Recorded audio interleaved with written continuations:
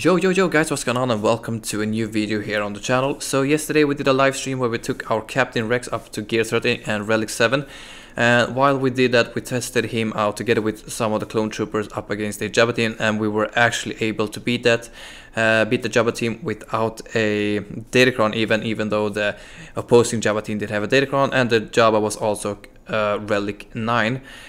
Um, so I just want to showcase you a battle uh, where we take Captain Rex and the rest of the clone troopers up against uh, Jabba. And I also want to mention that if you have the level 9 Datacron for Rex, uh, this will work perfectly fine. I've gotten through uh, a lot of Jabba teams with this, even with high percentage uh, in the defense uh, Datacron, and also with the 15% max health and max protection ones. So if you have the level 9 Datacron and you want to